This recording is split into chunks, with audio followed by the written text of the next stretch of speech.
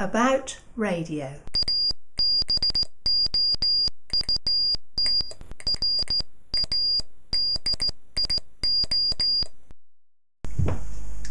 Hi guys, um, in the last video I talked about uh, Litz wire and um, uh, the effect of silver plating on uh, capacitors, uh, but it affects other components as well. And uh, when I think about inductance, um, looking for inductance is like taking a, a motorbike engine apart and uh, and looking for the speed. you know, it's not there. You uh, you measure it, uh, but at least with speed you can see it. But with inductance, it's something that you simply can't see. And um, you know, you'll see all sorts of uh, videos on YouTube, and they'll they'll show you an inductor, and they'll change the frequency, and uh, they'll say, look, um, uh, the inductance has gone up. And uh, you know nothing has physically changed in the coil um, or the piece of wire or whatever it is they're demonstrating the inductance of. Um, uh, but you know they say as if like magic I'll increase the frequency and the inductance increases. And uh, wow you know that's great. And it's real. It really does happen. I say well what what can happen? Um, well in the previous video I talked to you um, about uh, this notion of self-inductance or this property of self-inductance. And any conductor, any wire, any metal plate, anything that uh, you know you're going to use to carry electricity has inductance. And it uh, and each piece each individual piece of wire has its own uh, self-inductance and uh, okay so how does it change well uh, because of self-inductance the current that travels down the wire um, is controlled by the frequency that that current is operating at. So in the case of a DC current, you can have a conductor as large as you like in surface area and reasonably, within reason, um, the current will pass uniformly through that conductor. Um, when you get into AC signals, um, that situation changes very significantly. And because of self-inductance, the current that would pass through the wire um, as a DC uh, signal is now forced to travel closer to the outer surface of the wire. And um, depending upon the frequency of uh, this signal that's, uh, that's, that's passing through the wire, uh, that will determine how far out the current is forced from the center of the conductor and it's say it's a property of self-inductance and at mains frequency uh, you could have a wire uh, getting on for an inch thick and reasonably current will flow almost uniformly throughout that wire. At, at one inch there will be a little bit in the middle where the current is not as dense as it is around the outer edge. If you take that same one inch diameter conductor and uh, you run it at 100 kilohertz,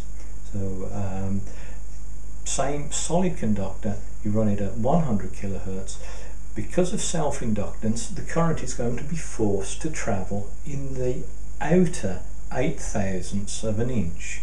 Okay, so that's uh, 0.008 inches or 8 thou. And that's a fact, it, it's the laws of physics. Um, if you run that same conductor, 1 inch diameter conductor, and if you run it at 10 megahertz, now the current will be forced, because of this property of self-inductance, the current will be forced to travel in um, the uh, outer, towards the outer surface and that will be 0.0025. So in other words, 2.5 thou. Um, if you go to 100 megahertz, you're getting into high frequency now, then that skin depth reduces to, and I've got it written down here because I can't remember it, it reduces to 0 0.00025. So that's point, uh, so that's 0.25 of a thou, or if you like, 6.35 microns and that's very thin. So you've got a one inch diameter bar or 25 mil diameter bar. And because you've increased the frequency you are only going to get to use the outer surface. That's that's the laws of physics. Um, it's a non-linear scale so as the frequency goes up so this uh, uh, the, the, the thickness varies. Um, I'll put the formula at the end of the uh, of the video. So um, you can see that if you use the whole of that conductor, you get the whole benefit of the whole surface area, let's say at DC or at very low frequency, then the resistance of the conductor is going to be low because you are using it all. But as the frequency increases, so the current is, is crowded out to the outer surface or just under the outer surface of the conductor, um, and the inner part of the conductor may as well be hollow because the current is not going to flow there. There is no significant current flow down the middle of the wire. And this is why the apparent resistance of the conductor looks higher. So at higher frequencies you actually get to use um, uh, less surface area. So less surface area is a greater resistance so the wire simply has more resistance because you're not using all of it. And it's this, uh, this uh, effect of self-inductance. Uh, it's a magnetic effect.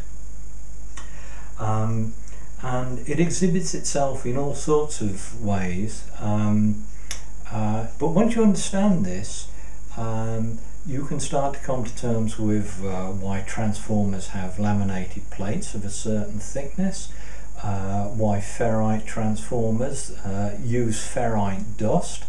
Um, uh, there's, there's all sorts of things, but it's having a clear understanding of what changes when the frequency changes, and it's the self-inductance of a component. So if you take a wire and you wrap it into a coil, it'll have one inductance at one frequency, but as you raise the frequency, that self-inductance causes the current in that wire to uh, uh, occupy uh, a space that is only close to the surface of the wire. And as the frequency goes up so that skin depth or reference depth however you want to call it that skin depth becomes finer and finer and finer. And this is why at high frequency um, coils, capacitors, uh, interconnecting leads, um, uh, valve components are silver plated because the current is going to flow in that uh, outer surface or just under the outer surface of the component.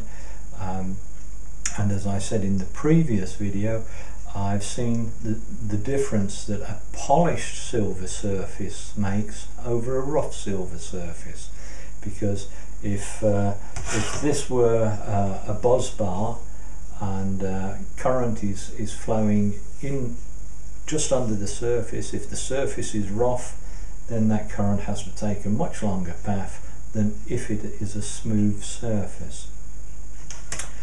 There's another effect which I uh, brushed on in the uh, earlier video and that's proximity effect and that is where um, the uh, opposing currents in two bus bars are sort of coming and going at very high frequencies. Those currents will uh, attract the current in the opposite conductor.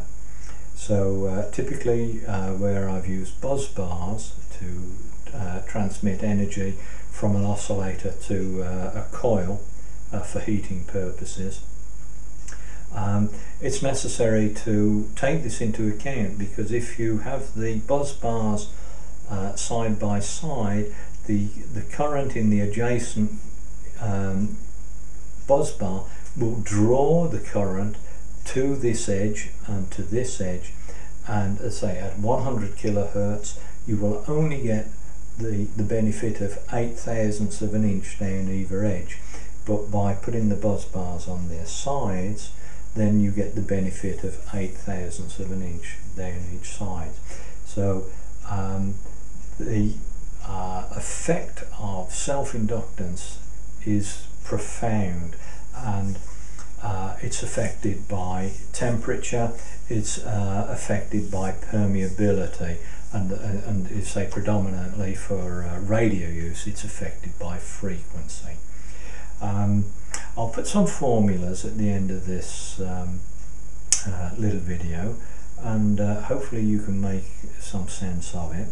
So um, it's interesting to understand not just inductance, but what, what makes inductance. When I said that a wire may be hollowed out because there's no current down the middle, uh, when I was working at uh, 100 kilohertz, I would typically make uh, my coils out of hollow tubes um, and simply pass cooling water down the middle of those hollow tubes and that would be um, a way of uh, removing the, uh, the I squared R losses, the resistance losses that remain in the thin skin of copper uh, where the current actually travels. Anyway, I hope you found that interesting. Thanks for watching. Bye bye.